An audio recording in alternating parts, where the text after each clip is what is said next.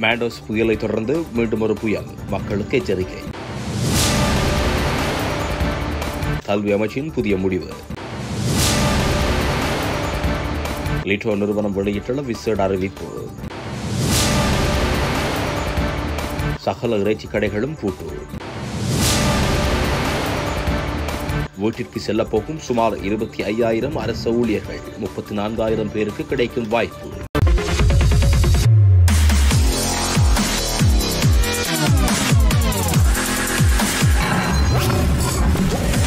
வடவுள் தமிழகத்தின் மேல் நிலவும் வளிமண்டல மேலடுக்கு சுழற்சி காரணமாக இங்கு தமிழகத்தின் பல்வேறு பகுதிகளில் லேசான முதல் மிதமான மழைக்கு வாய்ப்பு என சென்னை வானிலை ஆய்வு மையம் தெரிவித்துள்ளது. அதன்படி பன்னிரண்டு பன்னிரண்டு இரண்டாயிரத்தி இருபத்தி இரண்டு தமிழ்நாடு புதுவை மற்றும் காரைக்கால் பகுதிகளில் அநேக இடங்களில் லேசானது முதல் மிதமான மழை பெய்யக்கூடும் என்று தெரிவு கூறப்பட்டுள்ளது. நாளை மற்றும் நாளை மறுதினம் தமிழ்நாடு புதுவை மற்றும் காரைக்கால் பகுதிகளில் ஒரு சில இடங்களில் லேசானது முதல் மிதமான மழை பெய்யக்கூடும். பதினைந்து பன்னிரண்டு இரண்டாயிரத்தி இருபத்தி இரண்டாம் ஆண்டு அன்று தமிழ்நாடு புதுவை மற்றும் காரைக்கால் பகுதிகளில் ஓரிரு இடங்களில் லேசானது முதல் மிதமான மழை பெய்யக்கூடும் என தெரிவிக்கப்பட்டுள்ளது. அதேவேளை வங்கக்கடலில் ஒரு புதிய காற்றழுத்த தாழ்வு மண்டலம் உருவாக வாய்ப்புள்ளதாக கணிக்கப்பட்டுள்ளது. வரும் பதிமூன்று மற்றும் பதினாறாம் திகதிகளில் வங்கக்கடலில் மீண்டும் ஒரு புதிய காற்றழுத்த தாழ்வு மண்டலம் உருவாக வாய்ப்புள்ளதாக வானிலை ஆய்வாளர்கள் கணித்துள்ளனர். இது புயல் சின்னமாக மாறுமா என்பதை பொறுத்திருந்துதான் பார்க்க வேண்டும் என்றும் ஆனால் வலுவிழக்கத்தான் வாய்ப்பு அதிகம் என வானிலை ஆய்வாளர்கள் குறிப்பிட்டுள்ளனர்.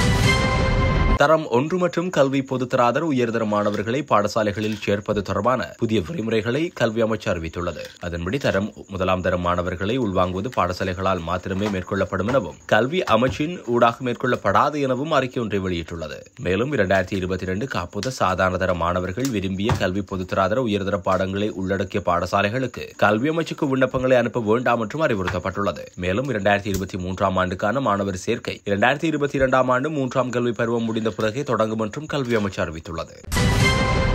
எரிவாயு விநியோகம் தொடர்பில் லிட்ரோ நிறுவனம் விசேட அறிவிப்பு ஒன்றை விடுத்துள்ளது. இதன்படி பண்டிகை காலத்தில் தட்டுப்பாடின்றி சமையல் எரிவாயு கொள்கலன்களை விநியோகிப்பதற்கு தயார் நிலையில் உள்ளதாக லிட்ரோ நிறுவன தலைவர் முதித்த பீரிஸ் குறிப்பிட்டுள்ளார். இதற்காக முப்பத்தி நான்காயிரம் மெட்ரிக் டன் எரிவாயு முன்பதிவு செய்யப்பட்டுள்ளதாக லிட்ரோ நிறுவன தலைவர் தெரிவித்துள்ளார். மேலும் இன்று முதல் தொண்ணூறாயிரம் எரிவாயு கொள்கலன்களை சந்தைக்கு விநியோகிப்பதற்கு திட்டமிட்டுள்ளதாகவும் அவர் குறிப்பிட்டுள்ளார். அத்துடன் மற்றொரு எரிவாயு கப்பல் ஒன்று நாளைய தினம் நாட்டை வந்தடைய உள்ளதாக லிட்ரோ தலைவர் கூறினார்.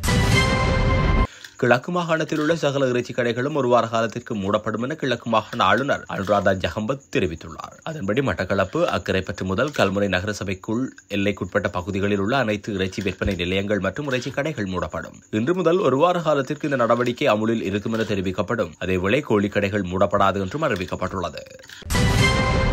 எதிர்வரும் டிசம்பர் மாதம் முப்பத்தி ஓராம் தேதிக்குள் சுமார் இருபத்தி ஐயாயிரம் அரசு ஊழியர்கள் ஓய்வு பெறவுள்ளதாக அறிவிக்கப்பட்டுள்ளது. இந்த விடயத்தை பொது நிர்வாக உள்நாட்டு அலுவல்கள் மற்றும் உள்ளூராட்சி அமைச்சின் செயலாளர் பிரியந்த மயாதுன்னு தெரிவித்துள்ளார். இதன்போது அவர் மேலும் தெரிவிக்கையில் அரசு ஊழியர்கள் அறுபது வயதில் ஓய்வு பெற வேண்டும் என்ற அரசாங்கத்தின் முடிவை தொடர்ந்து இந்த ஆண்டு டிசம்பர் முப்பத்தி ஓராம் தேதிக்குள் சுமார் இருபத்தி ஐயாயிரம் அரசு ஊழியர்கள் பணியிலிருந்து ஓய்வு பெறவுள்ளனர். பெருந்தொகையான அரசு ஊழியர்கள் ஓய்வு பெற்றாலும் போதிய அனுபவம் வாய்ந்த ஊழியர்கள் இருக்கின்றனர். எனவே அரசு சேவையில் எந்த வீழ்ச்சியும் ஏற்படாது. ஏறக்குரிய இருநூற்றி ஐம்பது அரசு வைத்தியர்களும் இம்மாத தேதியில் ஓய்வு பெற விண்ணப்பித்துள்ளனர் என்றும் அவர் தெரிவித்துள்ளார்.